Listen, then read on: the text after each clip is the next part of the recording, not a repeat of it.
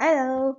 Uh, so we are on to key area three of unit two of uh, National 5 Biology, and it is called uh, structure and uh, it's about reproduction, basically. It's about reproduction in both plants and animals. This video is focusing on animals, but we'll give you a general introduction to what the whole key area looks like anyway. Okay, so this is a course specification of what you are expected to know. We're going to be touching on kind of all three today because all three merge. You do the plant equivalent and the animal equivalent. So we're going to look at all of this, but the animal part of it today, or in this video, and then the next video will be all of the plant stuff. So the layout goes, we're looking at the definitions of haploid and diploid, then we'll look at the reproductive structures in animals and where they're produced, then we'll look at fertilization in animals and plants, and then the second video covers reproductive structures in plants and fertilization specifically in plants.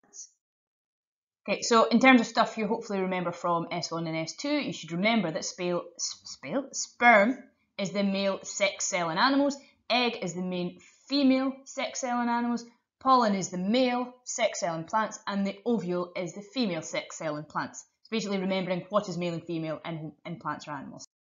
Okay, so we're going to cover just now the different structures involved in reproduction in animals and where they are produced. Things you have to be able to do by the end of this video is state what is meant by a gamete, give examples of haploid and diploid cells, common exam question that comes up, name the male and female gametes in animals, uh, explain where the gametes are produced in animals, and give a definition of fertilization in animals, which is a very specific one. Okay, so in terms of gametes, so what is a gamete? A gamete is just a sex cell. So when we've said our sex cells are things like sperm and egg or ovule, we're just changing that slightly to use the proper biology word, which is gamete. So a gamete is just the formal name for sperm and egg and pollen and ovule. Okay, uh, so definitions of diploid and haploid. All cells, all normal body cells are diploid except from gametes, okay? They are haploid. Uh, diploid cells, important definition, they have two sets of chromosomes Haploid means they only contain half of the amount of DNA needed to build a thing, um, and that means they contain one set of chromosomes. So to give an example, there are 46 chromosomes in human cells, normal human cells. That's the diploid number, okay? Um, but what happens in haploid cells, they would have 23 chromosomes. So 46 is two sets, haploid is 23, so that would be, yeah, that's it. One set of chromosomes. Okay, so in terms of the gametes found in humans, I've kind of already said this. Remember, gametes are sex cells. So if we're in males, our male gamete is the sperm. If we're in females, our female gamete is the egg.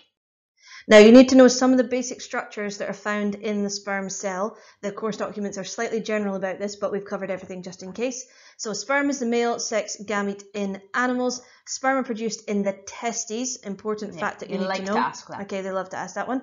Um, so it's got a head that contains the nucleus that has got the male DNA inside of it. It's got a midpiece that's got mitochondria. They are doing aerobic respiration to provide lots and lots of ATP so that the tail has enough energy available to move. Okay, so those are things that you need to know about the sperm cells and their structures. And that's a common thing that comes up in questions sometimes is in respiration we'll be comparing like a skin cell and a sperm cell mm. and their mitochondria number based on the fact that sperm need to swim, they need to move, they need a lot of energy, and really linking that stuff together. Okay, and remembering that we do not say the idea of mitochondria producing energy, they can produce ATP or they can convert uh, chemical energy into useful energy like ATP. Okay, so in terms of the male reproductive structures you need to know, there are very, very few you actually need to know. Even this is pushing it, but this mm. is from an SQA past paper. Um, you will see other diagrams which have way more in it. You do not need to know them. You need to know three things. You need to know the testes, or the if this is in singular, if it's plural, it's an e instead of an i at the end. That is the site of sperm production. That is the most important one, really. That's the one that gets asked about. You've got the sperm duct, which is where the sperm then travel along, and you have the penis. But other than that, you do not need to know anything else for these ones. You might see them on a diagram, they might be labelled, they might be named, you will not get asked about one. So just ignore them. If you, the idea is we've included these extra things so that you know to ignore anything that's not the testes. Okay, the egg, and we'll look at the structure again. The SQA course notes want you to know a little bit about the structure of the egg. The egg is the female gamete in animals. It's produced in the ovaries, so that's the important site of production of ova or eggs. It's got a cell membrane around the outside, it's got a nucleus in the middle, it's got mitochondria, it's got ribosomes, it's got everything your typical basic animal cell has inside of it. It's also, just extra fact, one of the biggest cells that can be found in the body. It's about the size of a full stop, so if you can stain them, you can actually see them with the naked eye, which is very unusual for cells, uh, animal cells, because normally they are far, far, far too small. In terms of the female reproductive structures you need to know, again, this is it. This is as many as you get. There might be more named, there might be more labelled. You don't need to know them. So, main ones you need to know, you need to know the vagina itself, you need to know the uterus, you need to know the oviduct, and you need to know the ovary. And the ovary being the one that is where the, the egg or the ova is actually produced. In terms of the oviduct, which is sometimes known as the fallopian tube, but apparently Nat5 think it's ridiculously too hard to ask you to remember that. Mm. So you have to call it the oviduct. And the oviduct has a special function that it is where fertilization occurs. So it is where a sperm actually meets an egg and the nuclei fuse. But we'll touch on fertilization in a second.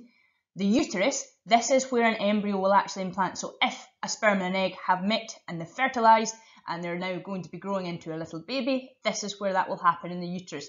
But that is it. That is all you need to know. You need to be able to name those four and you need to be able to basically describe the, the oviduct and the uterus. But the oviduct is probably the most important one there. Well, and it. the fact the ovary is a site of egg production. I'm thinking of exam questions. If they showed you this picture, they'd either be asking you, where is the gamete produced or uh, where does fertilization happen? Those are the only two yeah. questions. Uterus and vagina don't really come up. Okay, uh, so comparing structures, the female gamete is the egg, the male gamete is the sperm. Where they produce the female gamete of the egg is produced in the ovaries, the male gamete, the sperm, is produced in the testes. Okay, um, the number of gametes produced for females is usually about one per month. You don't need to know this fact for National 5. For males, it's millions. So in a single ejaculation, they can have up to 120 million sperm. Uh, the main reproductive organs you need to know for females, you need to know the ovary, the oviduct, the uterus, and the vagina. For males, you need to know the testes, the sperm duct, and the penis. Okay, so the number of chromosomes that are in the gamete, if it is human, it's going to be 23 chromosomes. If it's another animal, we just say that the number of chromosomes will be haploid. Okay, now that's also known as describe the chromosome complement of this cell. You'll either say the word haploid or diploid.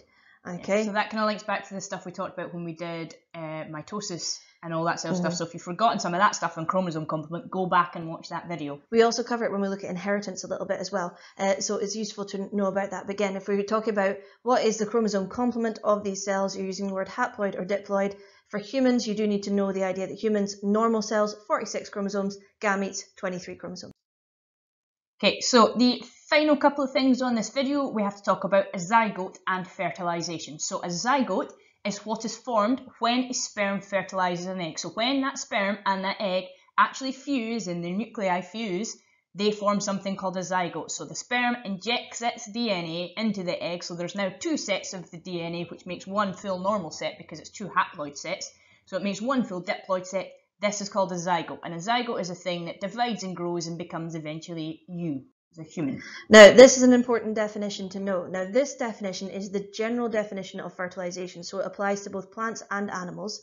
But the definition of fertilization is it is the fusion of the nuclei, so two nucleuses, of two haploid gametes to produce a diploid zygote which divides to produce an embryo. That is something that should be on a flashcard for your own revision, is that you should be rehearsing those exact words, just like the exact words for osmosis or what's another process, the exact words diffusion. for diffusion, okay, is that you must have those exact words in. So again, fertilization, the fusion of the nuclei of two haploid gametes, so both the fusion of the nucleuses of both of those gametes to produce a diploid zygote, which will then divide to produce an embryo. So if we look at this specifically for animals, which again I'd say do a specific flashcard for this, is just to put it into context.